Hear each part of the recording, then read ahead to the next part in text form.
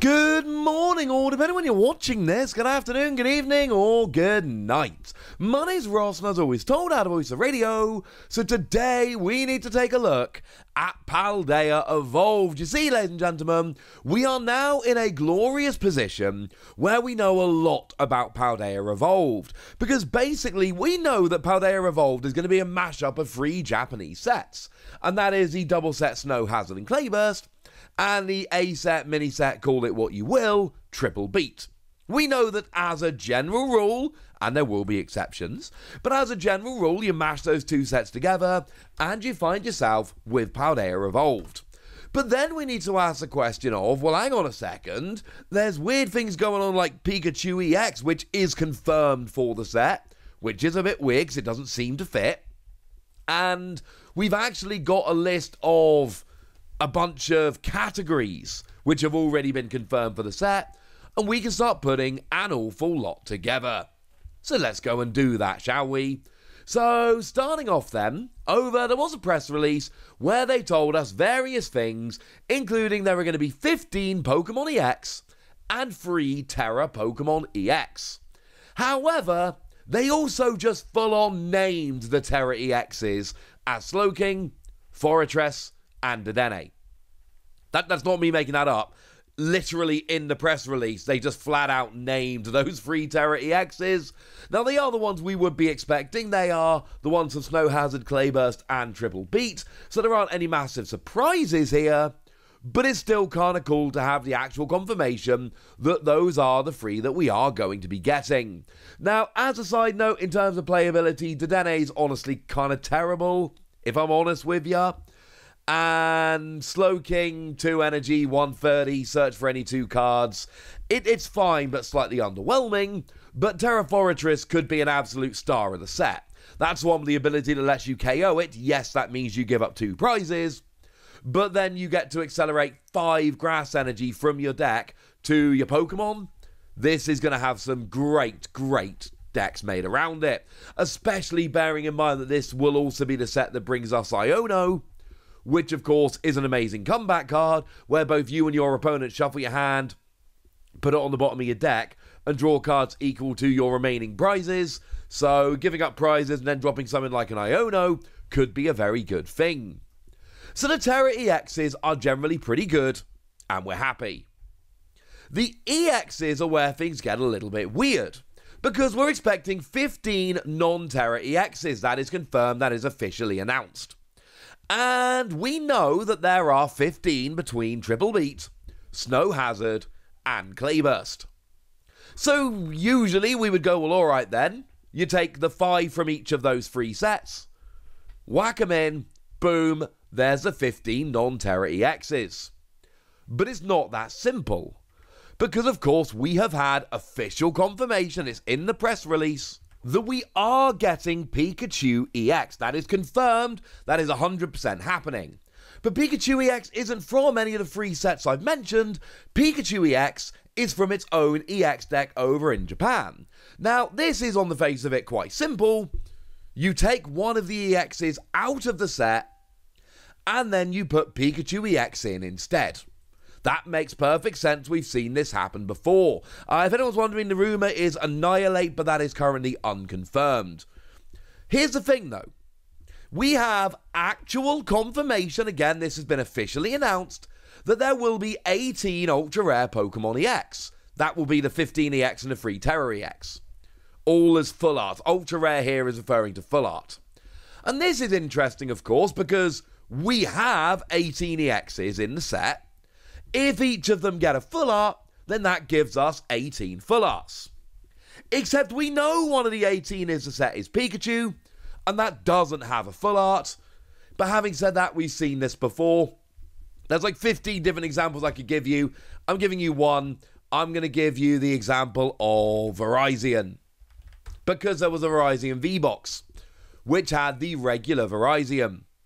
And you'll notice that if you go to the relevant set, in this case, I am talking, of course, about Astral Radiance, you will find Full Art Virizion.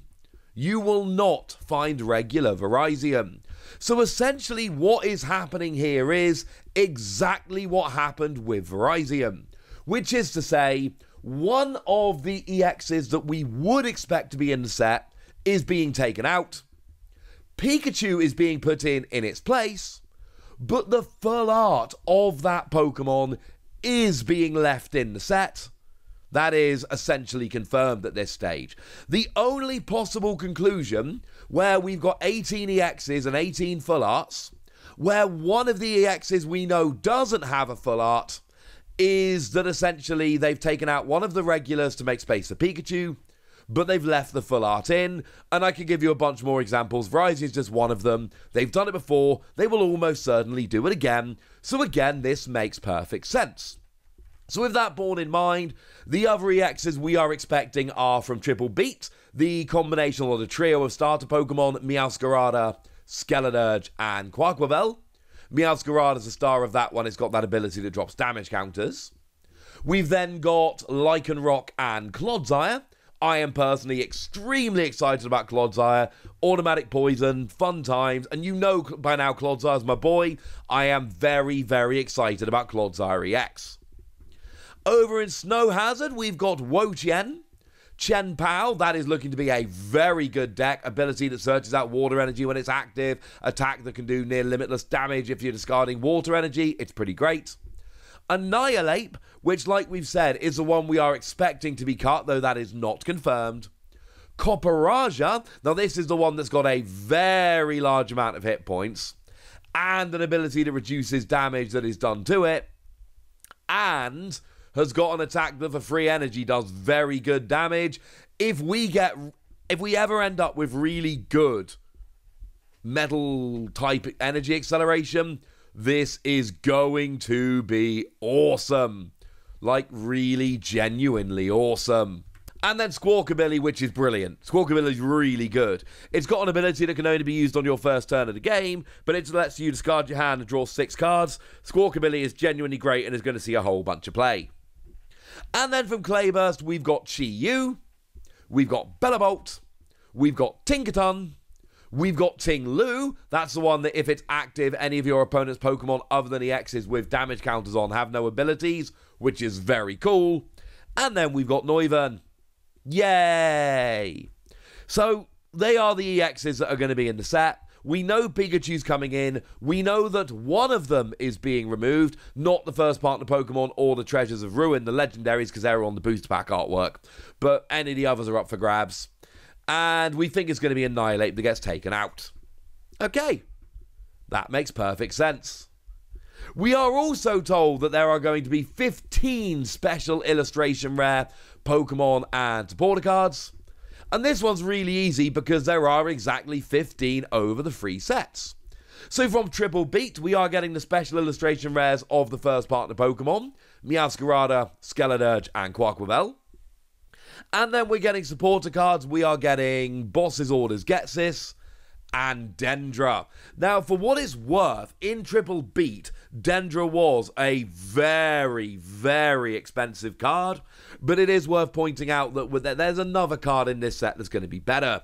And do bear in mind, yes, I know some of these Japanese special illustration rare supporters get up to absolutely ridiculous levels. We all know that.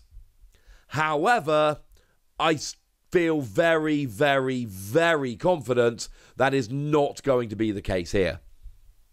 Dendra is not going to be anywhere near as expensive. Now, over in Snow Hazard, there are again five free Pokemon 2 supporters, and that means that you are going to be getting your special illustration rares of Wo Chien, Chien-Pao, and Squawkabilly. And Squawkabilly, this is the first Amelicart artwork since Crown Zenith. I am hyped about this one. This is one of my real chase cards for the set. And then in terms of supporters, we've got Grusha and Giacomo. And Grusha's way better artwork than Iono, just to be clear. But then we get over to Clayburst, and again, we've got ourselves free Pokemon here. That featuring Chi-Yu, Tinkaton, and Ting Lu. Ting Lu, my favourite of them, but shout out to the Akira Egawa artwork on Chi Yu. And then in terms of supporter cards, we've got Saguaro and Iono. And Iono is going to be the big card in the set. It is a redonkulous card over in Japan, but it is going to be the big set over here. Yes, I know Dendra was a pretty big deal when it released over in Japan, but make no mistake about it, Paldea Evolved Iono is going to be one of the really big chase cards. So I suppose that kind of makes perfect sense. For what it's worth, they're also telling us there are going to be 36 illustration rares. There are 12 in each set, so just assume they're all coming over. I don't want to make this video 10 times as long by going through all of them here. We'll go through them in another video, but just know that that is also going to be the case. The other thing which we are told is that there are going to be nine gold cards. And once again, this works out absolutely perfectly. Honestly, ladies and gentlemen, absolutely perfectly. Now, it does say it will include Pokemon EX Trainer and Energy cards, and that's what we get. Now, over in Triple Beat, they actually ruined things a little. They just gave us gold versions of Meowscarada, Skeledirge, and Quaquaval. Usually, it's one Pokemon, one Trainer, one Energy. But over in Triple Beat, because they were introducing the fully evolved first partner Pokemon, they went and ruined it a little bit. Can't win them all. Now, over in Snow Hazard, they gave us Chien Pao as the Pokemon. Super Rod, yes, it is an old card. Yes, it's being reprinted as the trainer. And Water Energy as the water, which matches Chien Pao perfectly. And then over in Clayburst, we've got Ting Lu as the Pokemon. Superior Energy Retrieval, which is another reprint as the trainer card and Grass Energy as the energy card. As a fun little side note, no, the Grass Energy doesn't really fit. Normally, I suppose it's in here for Forretress, but really, it should have been fighting, but we already had fighting in Scarlet and Violet, Scarlet in Japan, to be specific. So they had to go for a different one. They've gone for Grass, presumably because of Forretress, but it's not quite the same. So there's all your special illustration rares confirmed. All your EXs confirmed, except for one, which we're pretty sure but not 100%. And all of your gold cards confirmed. Like I said, ladies and gentlemen, we have gotten to the point where we know a lot about this at this stage. And also, we know that whichever Pokemon is being cut, the full art is still remaining in the set. So there we go. That's what you need to know, ladies and gentlemen. And now it's over to you guys. I want to know what you think about all of this. I want to know anything you want to tell me. I want to know what your predictions are in the comment section. Get us! Be nice. And then make sure you like this video, subscribe to this channel, follow me on Twitter at the Wasi. That's where we talk about Pokemon and card games and Pokemon card games, all kinds of fun things.